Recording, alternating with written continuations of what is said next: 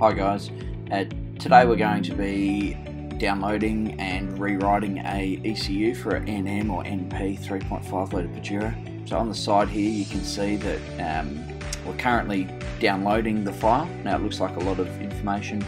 It is only 512 kilobytes in size. In the left hand panel we've got our uh, 98 octane tune that's loaded ready to go. Um, in here you'll notice that there's fuel maps, there's um, timing, there's shift points, all of these here can all be adjusted to suit your particular need uh, and improve the overall driving experience. That there's loaded, so we're going to be hitting the rewrite button in a moment once this is finished downloading. Um, the other part as well, we can disable the immobilizer, which is a big thing if you ever need to get a spare key cut and don't want to get it um, recoded.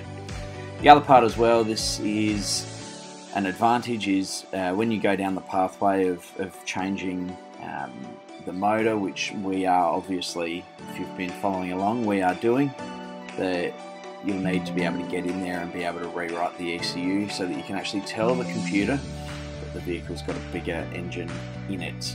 Anyway, please contact us at sales at evolveauto.com.au if you would like us to tailor make a solution for you.